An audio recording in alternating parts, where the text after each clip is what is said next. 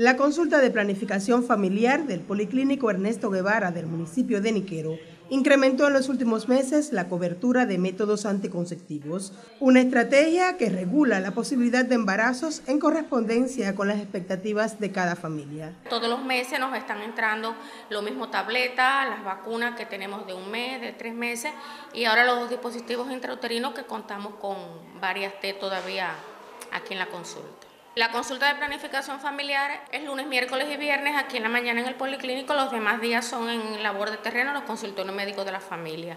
Hemos logrado que vengan las mujeres no solas, sino ya están acudiendo con su pareja. La consulta de planificación familiar cuenta con especialistas que orientan a la familia y ofrecen alternativas para evitar embarazos en adolescentes. Desde esta consulta nosotros estamos trabajando directamente con las adolescentes y las estamos priorizando en cuanto a la cobertura de los métodos anticonceptivos que entran al municipio, ellas tienen que venir eh, acompañadas de un tutor legal a la consulta y se les explica este, los riesgos y beneficios que tienen de, colocarse un método anticonceptivo. También desde esta consulta la llevamos hacia las áreas de salud, en las comunidades donde tenemos mayor incidencia de embarazo en la adolescencia, también llegamos hacia los centros educacionales donde mayor incidencia tenemos, con, eh, con promoción y prevención de los métodos anticonceptivos que tenemos y de las consecuencias que puede traer un embarazo en la adolescencia eh, para todas estas pacientes. En el 2023, el municipio de Niquero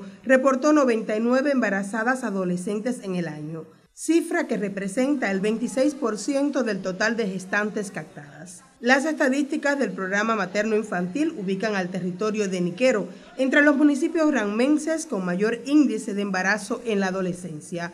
Por ello, la planificación familiar deviene una importante arma para prevenir embarazos en edades tempranas. Hortensia Cardellá, para el Sistema Informativo de la Televisión en Granma.